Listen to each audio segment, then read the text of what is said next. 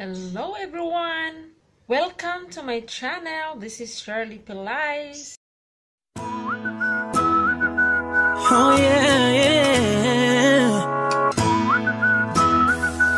Oh yeah. Before we will start, sa mga bagong nanonood, kung kayo ay hindi pa nakapag-subscribe ng aking channel, please subscribe na. Sa baba, pindutin lang ang pula dyan. Alam nyo ba na si Patricia Javier ay itinanghal bilang Mrs. Universe? So, let's watch the news guys.